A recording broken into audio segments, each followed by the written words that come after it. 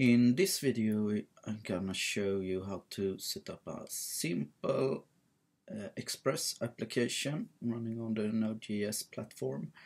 Um, this is just gonna be a very simple application. We don't get into how to structure your code and stuff like that. Just get the Express working and see this as a, just a start for uh, start coding with express.js. Um, the application we're gonna build is some kind of to-do application and I'm gonna show what the end result should look like. The application is listening to port 8000 uh, and it's just a simple index uh, page with a link uh, where I come to a URL slash to-do uh, and I can write something um, uh, click the button and it will post like just a to-do list uh, uh, like this. So as you see it's a very simple application uh, and we're gonna look uh, how to write a web application that's listening on some URLs, uh, rendering views, uh, taking post data, making a dynamic page uh, and uh, some other stuff. So as I said, it's just a simple application, but uh, a good start to see how express.js is working. So let's start coding. Uh, here's my IDE. Uh, it's an empty directory except for um, the code standard files. So I don't use any Vagrant and stuff like that. I'm, I'm just running it in, in my local computer at the moment. So I think we start from the beginning and the first thing we do is uh, creating um, uh, package.json uh, and we're running an npm init and I'm doing it the lazy way so I don't have to answer every question. I just put the flag yes on and it will answer every question with that yes and just give me the default um, stuff. It, it, that I don't recommend doing this uh, but I don't in this movie I don't want to go through all the alternatives. Um, so okay uh, and we're gonna write an express application. So the first thing we do is npm install express and I wanna save it in the pack package JSON. And it's not a um, dev dependency it's a real dependency so just a save flag. Uh, like that. We do it install uh, and now I'm get getting some warning because I just uh, my package JSON is have some empty fields but I'm just gonna ignore that. Uh, well we got the node modules, we got the express and all the stuff needed for express. It's quite uh, many um, dependencies. Uh, so okay, uh, next thing I'm gonna start some file that we're gonna use as a start file and I'm gonna call it app.js. Someone calls it server.js and, and stuff like that, but in, in my case I'm gonna call it app.js. So it's here we're gonna write a code. So let's start. Uh, first of all, uh, we're gonna do the require statement and we're gonna require express like that. Uh, and we're gonna create the variable uh, app. And we are going to do this uh, like this. If you look at the express documentation this is the way to create or create an instance of uh, of this express library. So what can we do with that? Um, uh, the th the first thing I think is just um, trying to start an HTTP server. So we're gonna listen on some port so I'm gonna do a, a variable called port uh, and I'm gonna use a, a way to to write this that's um, pretty common uh, the first thing is using process dot to get the uh, opportunity to the the user that start this application to specify which, on which port. Uh, if we don't get any value in that uh, thing, we're gonna use the port 8000. So that, that's the default port we're gonna listen on our uh, HTTP server. It's gonna listen on. Uh, okay, so how do we get it to listen on this?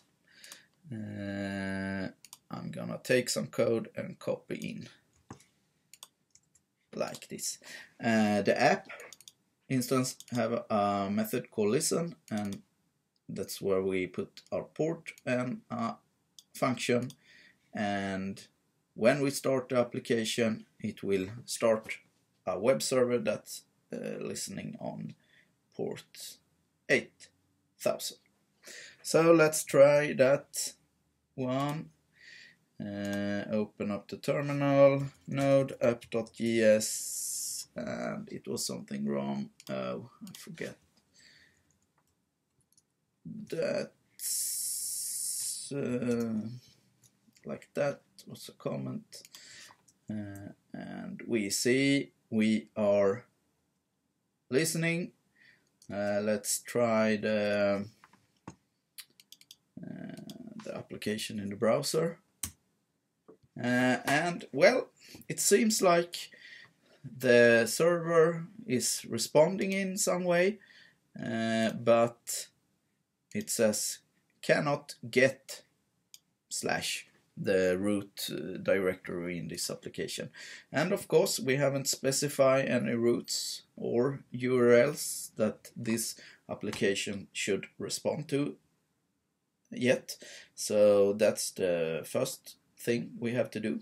We're gonna uh, create some con content when we call this application.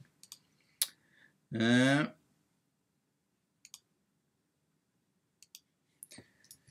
let's get back to uh, the code uh, and I'm gonna put that down. So we wanna listen to um, the when we get request at a specific URL and the way to do it is using app uh, and telling app what HTTP method are we gonna listen to.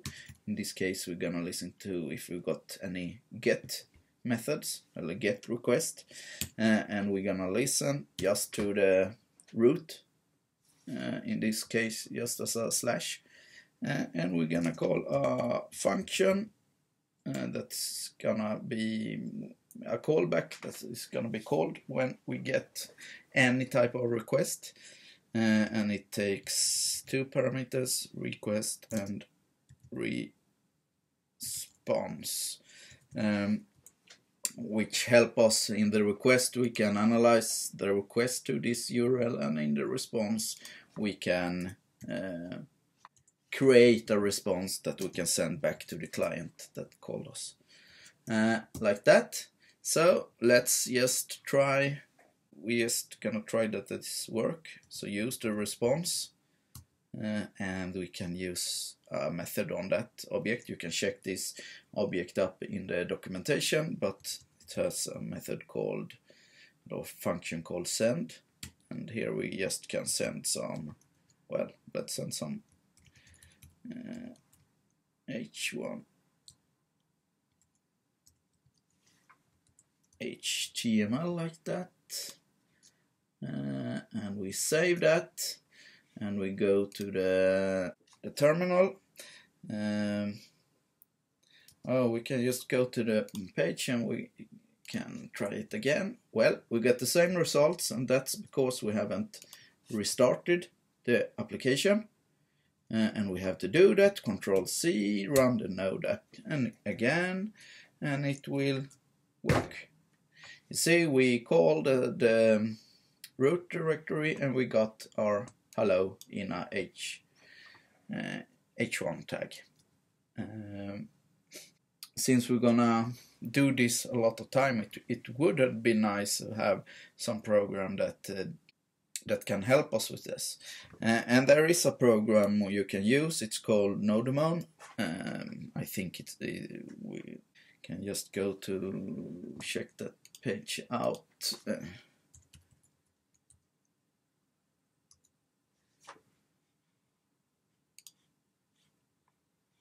Well, it has a, a, GitHub page and you can read about it here and how to install it. The way to install it is install it like a npm install but with the flag g, meaning globally. We install this program globally so we can use it with any of our uh, projects. Uh, so I, I've already done this so I don't need to do it again but now I can use nodemon app.js and you see that it's starting the server just like uh, the same and it's watching some files. So when I do a change just like this and save you see it restarted the server and I don't have to do this manually. Um, so yeah we were right there. We have uh, done our first um, page, but I want to do this. I, of course, I don't want to write all my HTML like this in a string and stuff like that. I want to have some kind of view, some kind of template that takes care of my HTML uh, rendering and that's one thing that uh, Express can help us with. Um, I'm gonna use a template uh, engine called uh, Handlebar. Uh, Express supports a lot of different uh, template engines uh, uh, like Jade or whatever. you can check different kinds up, but I'm gonna use one called um, Handlebars and to do that I must install a package called Express Handlebars. Uh, this this package uh, Express doesn't include this, so we have to install it separately. So I'm going to I'm gonna use the other console. Clear. Npm install express handle. Uh, what's its name? Handle bars, yeah. Uh, and we're gonna do it with save. And it's gonna be installed, yeah, worked fine.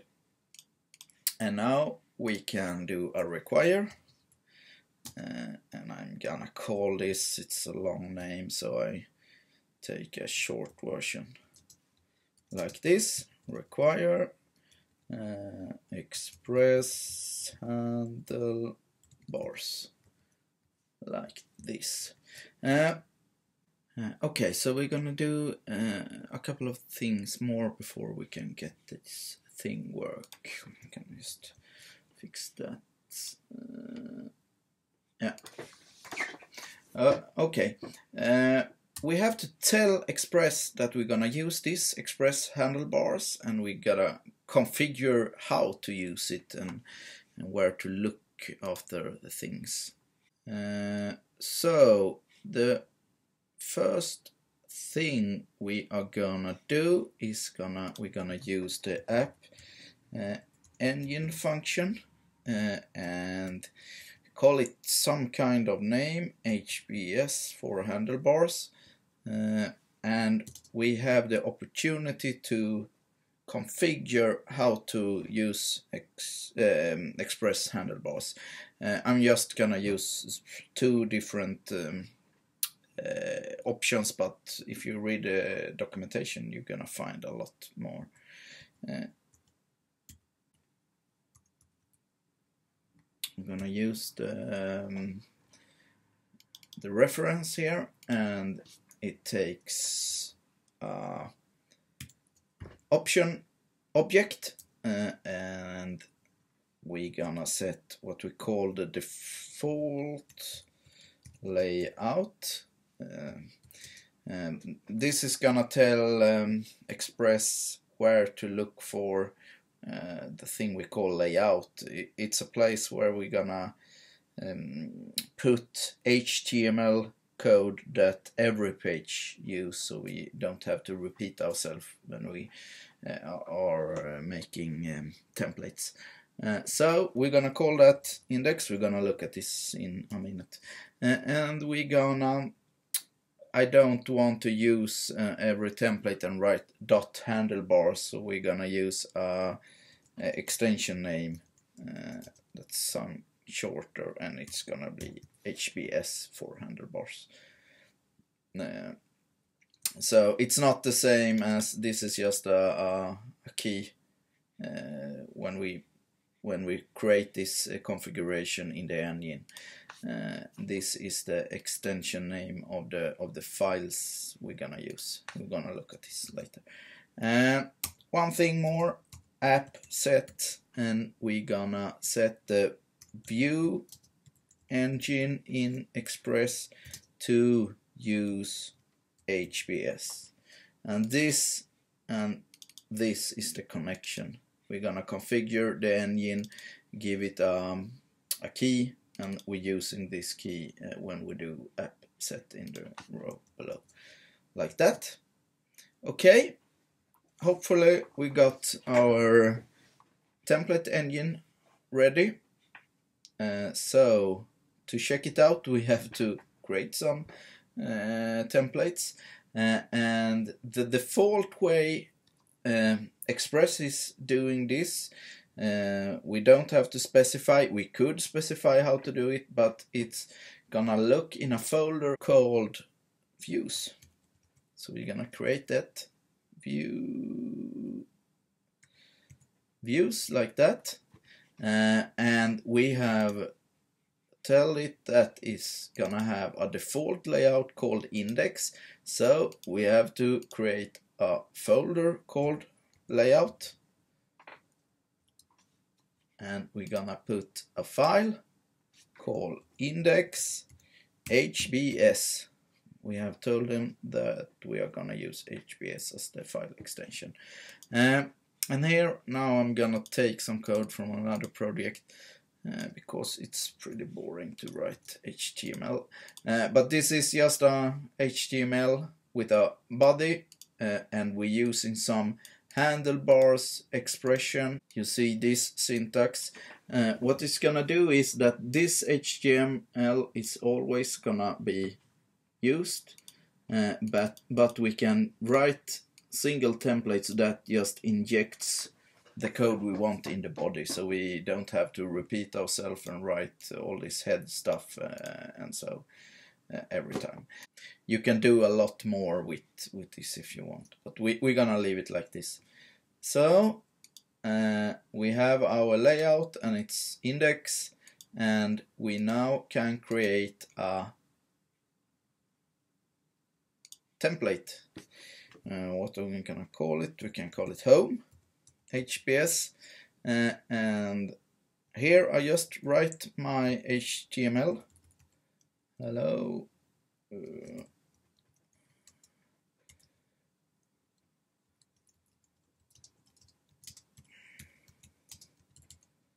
I don't remember what the text was.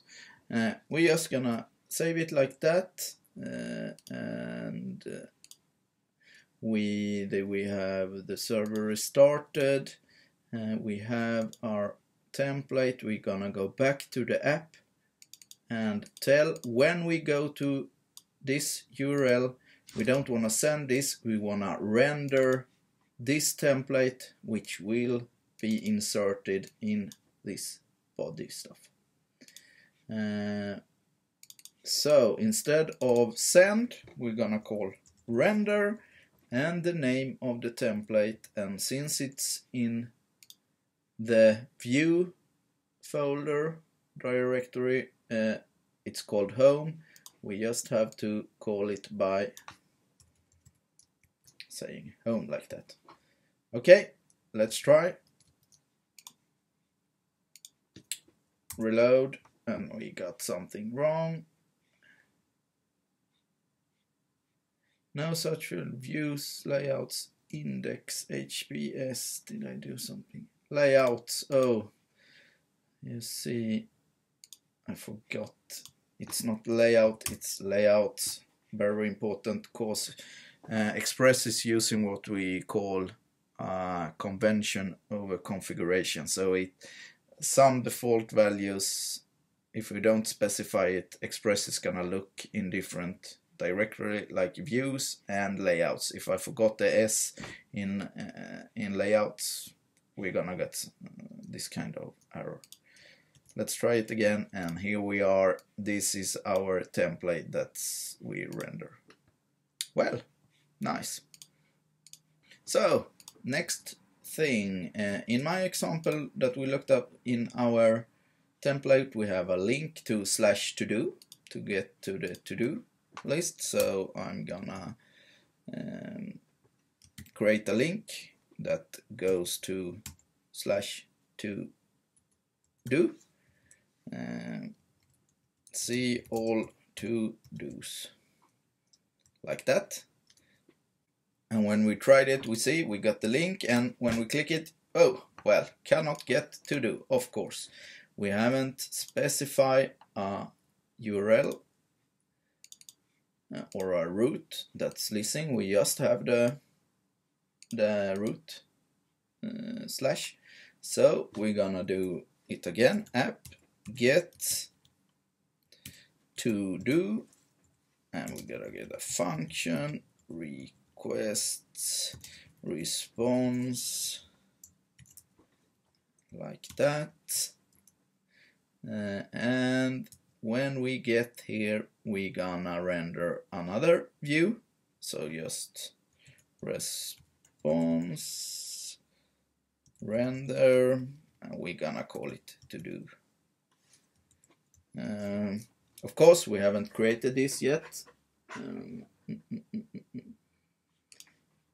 Right. Let's take that. Uh, so we have to create this view uh, and to do HBS like this and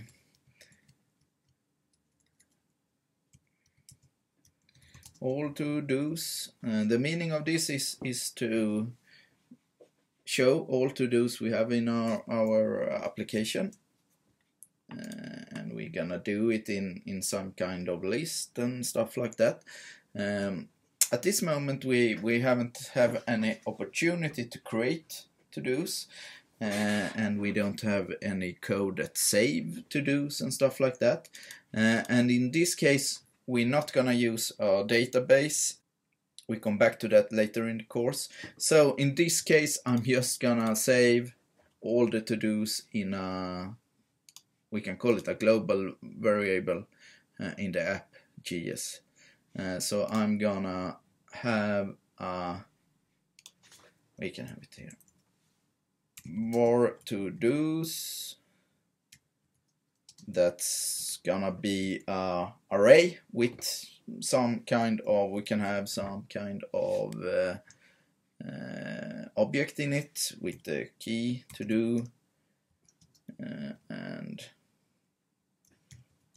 a message just a to-do message so we have an array with one item at this moment. So we have some kind of data. Of course we're gonna later on save this in a database and and have it more persistent. This is not a good way man. Just for this example we, we're gonna hold on to this variable.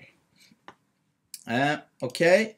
So I have some data now in this uh, to-dos and I want to send this to the view or to the template and let the template presents this message.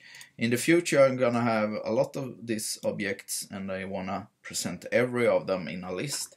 So the way to do this is to add an object and what do we call it? Data maybe and we gonna put to do's in this. So we're gonna, as a key data, we're gonna send this array to the template, to the view.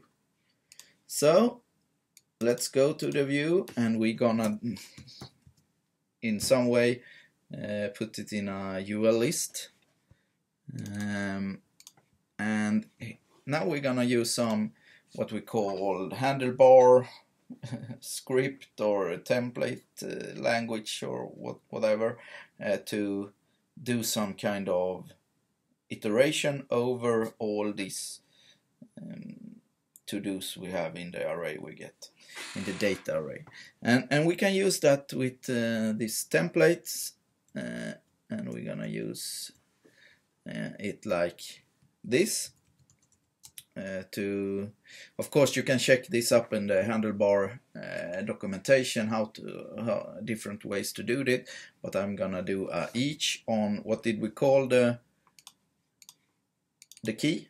On each data which will represents in the to-dos here. Uh, each data and we're gonna put on uh, kind of end to that. We, we, we can call this a for each loop or each, uh, each loop on the array.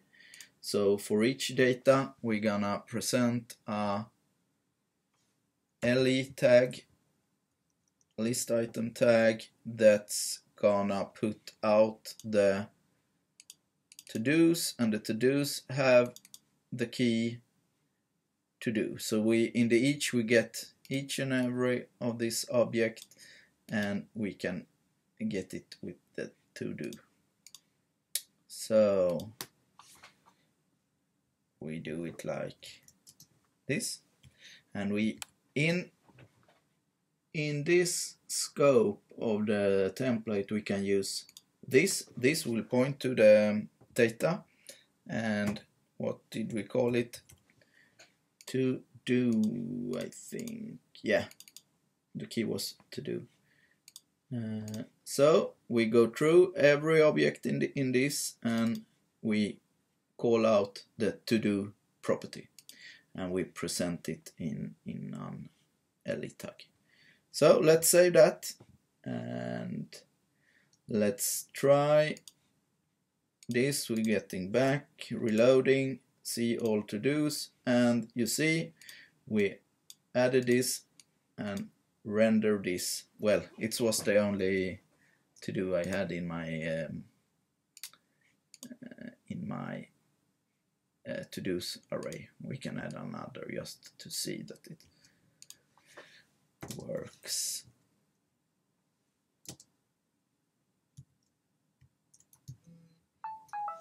And yeah, you see now we get a LI tag for each of the uh, of the um, object we have in the array. So that's fine.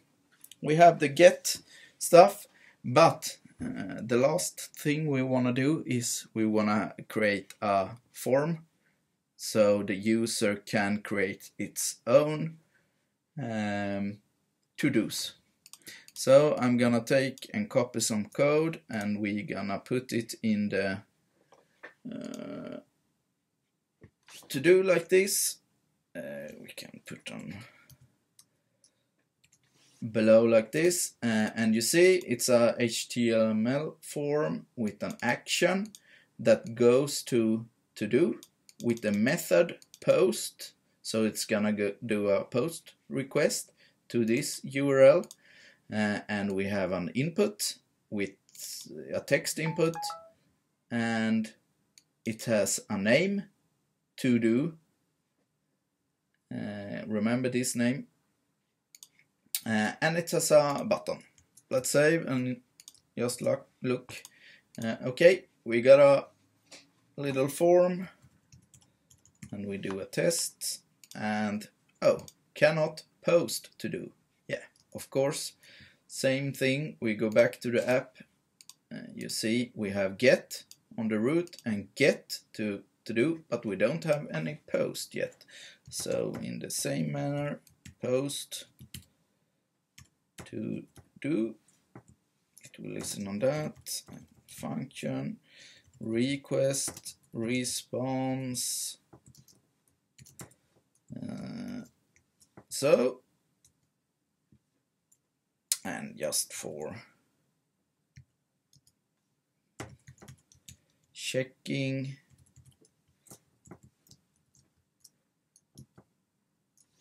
Let's whoops. Let's reload this and try and yeah. Oh, it it uh, sent back test. Okay so we got the form working we got a post and we're getting here. The thing now is to get what the user is writing in its textbook and put it as a to-do, new to-do in the array.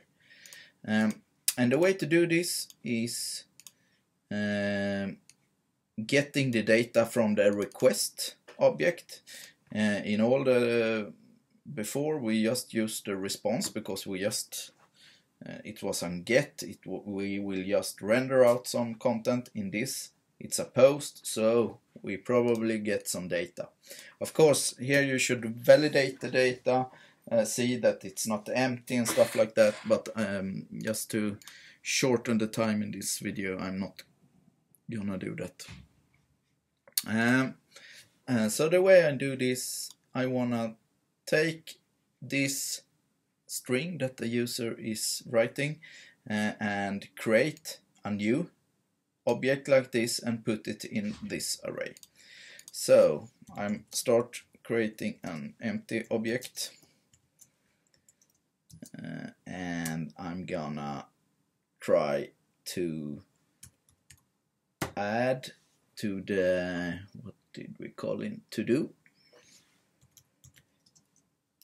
Uh, and I'm gonna get from the request body the name of that input that the uh, that the user was writing in and the name is to do.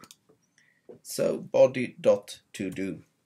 That's the way we're gonna get uh, the data from the um, the form the HTML form and from the user and of course, you should never trust the user. You should always validate this so it's uh, a correct string and stuff like that. But um, we ignore it for now. Uh, okay, and then we have to to do's, save it in our um, data array, and we can do it like push, and we take to push the object in that array, and then we can do uh, well of course we can do it just like we did before. Just render the response uh, like this. Uh, we have updated the array with with the new object so we can just render it. Uh, well let's try that uh, yeah. Testing. Oh something uh, got wrong here. Okay, we got a type error, cannot read property to do of undefined. Uh, we see row 29, uh, 29, oh this thing, it can't find to do, this must be undefined. So what's that? Well, uh, it's not just this easy in Express, because you have to use another package to get this functionality in Express to, to read from the request body and that package is called um, body parser it's help us to get things from formula uh, parse it through the request object and stuff like that. So the first thing we should do here is I'm gonna close down the server and I'm gonna do an npm install and we're gonna install a package called body parser. And put the save flag on and here we go and something was wrong I must have Bobby. Body parser. So okay. And of course we're gonna have to uh, require it. Like this require. Uh, and we have to configure this uh, and I'm gonna take some code we have to tell this body parser uh, which uh, kind of content type of data we're supporting in our application. In this we're gonna support sending data through a HTML formula and uh, this is uh, specified by using this app use body parser dot URL encoded and extended set to true. You can check this up in the um, uh, in the documentation. Uh, if you wanna do it with JSON, you're gonna listen to JSON requests and stuff like that. You have to tell the body parser to do that. Uh, well, I think I'm gonna put it here. Uh, of course, this is, as just said in the beginning of this movie, in the future we're gonna separate these things in different files but in this first example I'm just gonna put all code in one and the same file uh, for simplicity. Uh, okay, so I have configured my body parser and let's try it again. Uh, okay, I don't start nodemon app.js. Here we go. Uh, testing, and we see, well, that's fine. It's working like a charm. Or when I do a reload of the page, you see I'm getting, oh, it's gonna do a resend. It's very easy to do what we call a double post and there is a pattern we should use to avoid these kind of things, protecting the user from doing double posts. Uh, in most cases, the user don't want it. So we're gonna use a, a, a pattern called uh, called uh, PRG post redirect get. Uh, and the way we're gonna do this is in the post instead of render the view again we just gonna do what a redirect to the URL to do. And what's gonna happen is the server is gonna send a redirect HTTP message to the client and the client is gonna automatically do a to do request and we're gonna get to do it's gonna do a get request and we're gonna uh, go to this method instead and avoid doing uh, double post. Let's try it. Uh, uh let's do it like this. Uh, okay, you see my um, my to-dos disappeared and that's because I restarted the server and when I restarted the server the uh, the the variable renewed. Uh, of course if we had stored this in a database we should have had the database holding all the data. Uh, so that's okay. Uh, let's try it again testing. And uh, we're making and we're doing a reload. And now it's just reloading the page since when I do this when the it it happens so quickly so we can't see it but we doing a post to to do and getting a redirectory and doing a get again and avoiding the ability to do a double post.